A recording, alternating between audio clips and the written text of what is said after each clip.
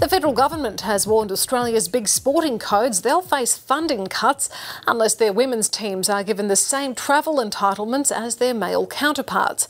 Well, joining me now from Perth is Tessa Lavey, a member of the Australian Opals and the captain of the Perth Lynx basketball team. Tessa, thanks very much for your time this evening. Now, basketball is the sport that ignited this debate back in 2012 when the women's team was made to travel in economy while the men yep. flew business class. Basketball players are tall and you're travelling to compete. So, how much of a disadvantage would that have put the women's team at?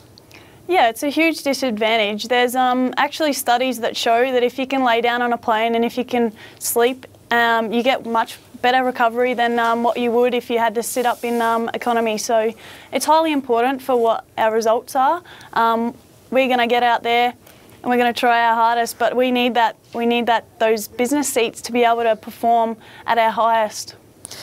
It's pretty outrageous, especially when the Opals were in fact the better performers.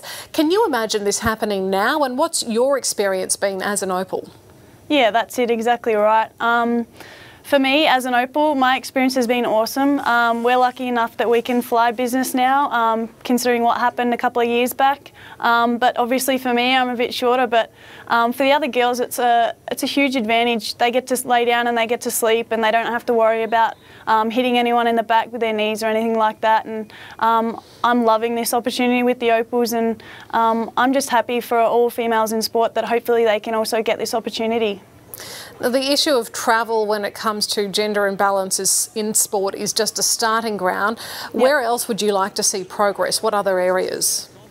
Um, just all sorts of things. Um, so obviously the travel is a really important part, but um, also with pay and stuff like that. Um, we work hard, exactly the same as guys, and it'd be nice to see that equality in that area.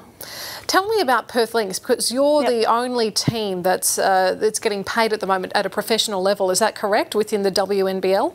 Yeah, that's exactly right. And um, with the Perth Lynx, we're lucky enough that this is our first year. Um, we've been taken over by the Wildcats, which is our men's team over here, and um, they've actually taken us under their wing. And we're very fortunate enough that we all players are fully professional, and that's the first time that that's happened in the WNBL. So we're really looking you can see in our results as well that um, this is working. Um, we're on top of the ladder at the moment, and um, we're really looking for other clubs to follow suit because if we get that professionalism here, people are going to come want to come and play here, and that's going to boost our performance as well as Commonwealth Games and the Olympics coming across.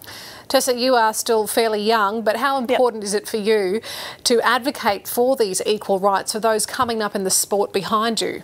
Yep, it's very important. Um, I've heard from others in the past, um, Kristi Harrower, she was very much about the equality, and um, for me, it's leading the way as well. You can't just sit there and wait for something to happen. You've got to get out there and be proactive, and so it's better for the younger girls coming through, and um, hopefully that can happen.